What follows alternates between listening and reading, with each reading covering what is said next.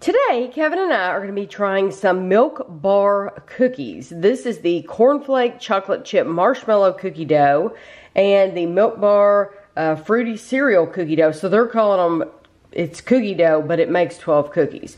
Uh, these were $4.72 at Kroger. They're limited edition, so they won't be out forever. Uh, what you want to do is you want to preheat your oven to 350 degrees and open the package like this. You do not have to make them all at one time, and I'm not going to make all of ours at one time. Um, you can make as many as you want. That's the good thing about these, is you can make uh, four and then put them back in the refrigerator if you want. So that is what the, um, the fruity cereal looks like. Looks like it has a bunch of white chips in there. So I'm going to bake two. And you can either grease a cookie sheet or use parchment paper. I'm going to use parchment paper. So this is the cornflake chocolate chip.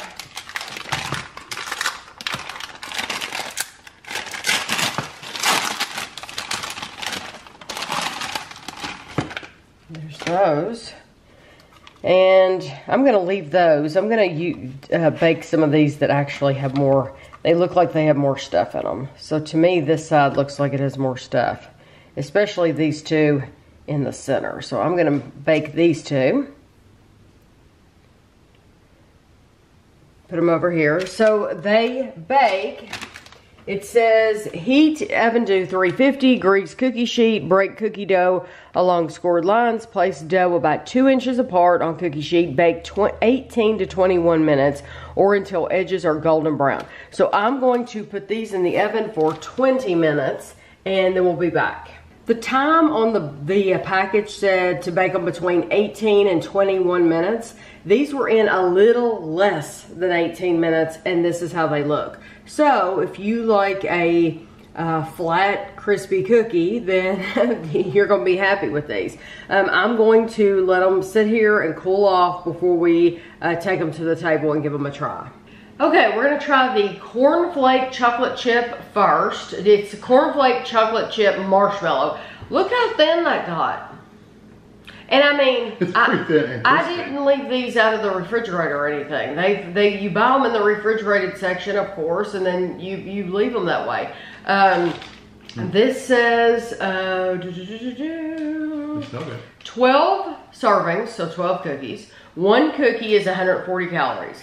And these are distributed by General Mills. It says the product can be frozen up to two months. So if you buy these, you really like them, they're limited edition, you can put them in the freezer. Okay. They, um, even though they got really thin, they actually have a, a chewy middle with like a crunchy outside rim.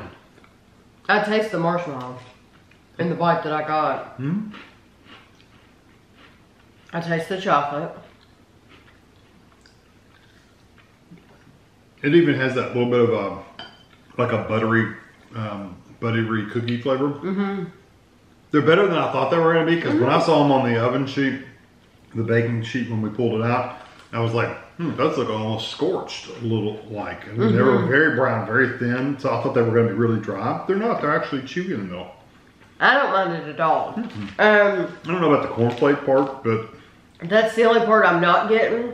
I definitely get the chocolate chip and the marshmallow, and you do get a buttery flavor. Yeah. Yeah, the cornflake is what I don't taste. Uh, you just need to know that you need to be a thin, crispy type of person. If you don't like that type of cookie at all, well, then these aren't for you. Cause yeah, it- if you like the really thick, gooey, like almost not baked cookies, these Yes. are not the. no, But they do have a nice chew in the center, which is better than I thought. I thought they were going to be dry, and they're not. I can go either way. You know, I like these. Sometimes I'm in the mood for a thin, crispy cookie, and sometimes I'm in a, the mood for a real thick, ooey gooey cookie. Sometimes I'm in a mood, the mood for a stuffed cookie. So I don't rule out any cookies, and you know, don't rule out any cookies. I, Um, I actually like that one quite a bit. Honestly, I like the thinner I do too. cookie. And I really do like that marshmallow flavor. Yeah, it's nice. And this is fruity cereal cookie dough. Um, it's 150 calories per cookie. And I'm taking my bites right out of the center. I'm kind of getting both. The outside edge is very, very, very crispy though, so just keep that in mind.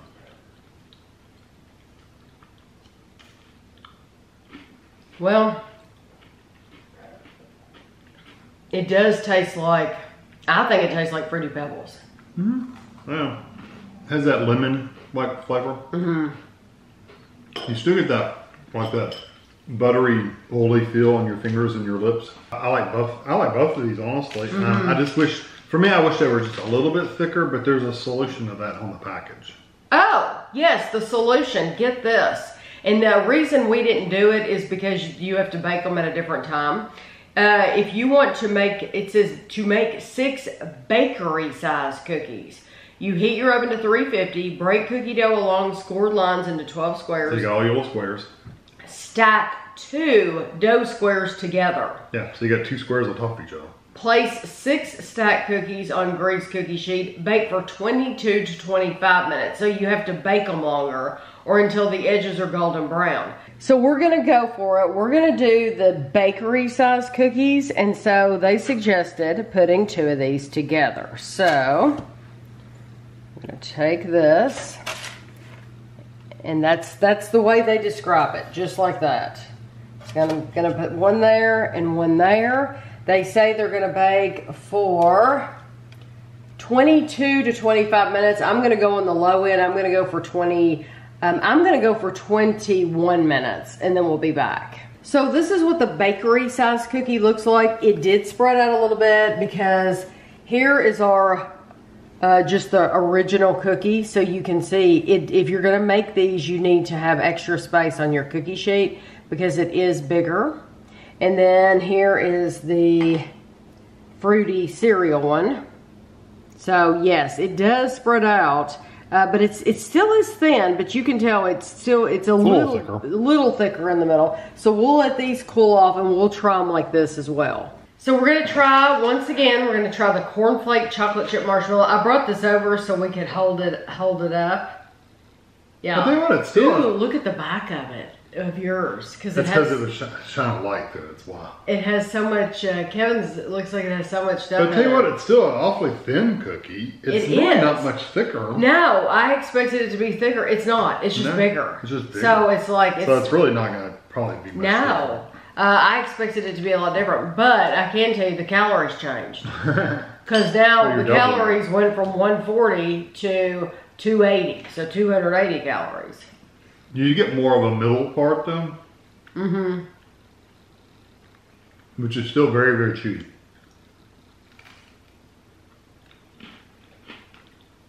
Hmm.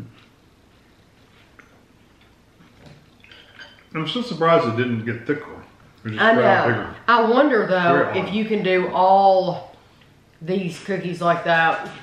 You know, because we've we've reviewed so many of them. You mean just whatever brand? Whatever brand, I've never thought to put one on top of the other, Mm-mm. and um, It And might, do that. it might make a lot of difference where um, the consistency of the cookie itself. mhm. Like the raw cookie, if it's a, if it's not soft enough to spread, then it may not work. I don't know. I tell you what, um, I like these more than the milk bar cookies you get on the shelf. Um, I was never crazy about those at all, or crazy about, um, well, the price of the refrigerated ones because they're just expensive. Um, I really, really, really like their ice cream. The milk bar ice cream, I think, is the best thing they have going for them. It, it's really It's fantastic. really good. Um, and so if you haven't tried that, you should. Uh, this is fruity cereal again.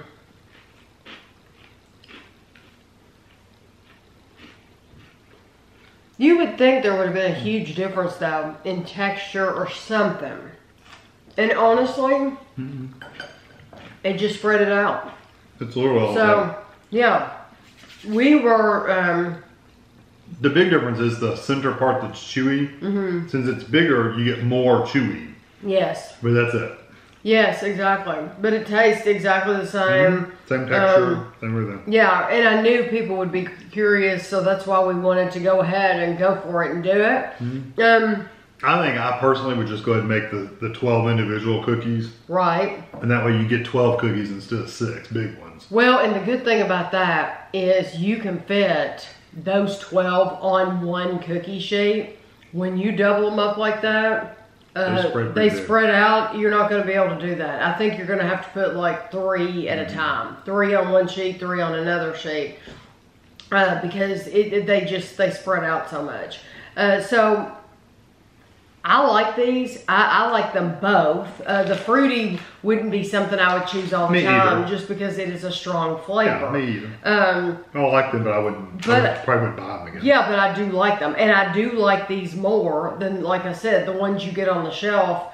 Um, I know we bought them at Whole Foods years ago, but I've seen them everywhere now. I think Target and places like that. Uh, but I would really encourage you to buy their ice cream Yeah, it's really good. Because it's terrific ice cream. Pick any of them; they have lots to choose from, and they don't disappoint. Uh, so I hope you enjoyed the video, and thanks for watching.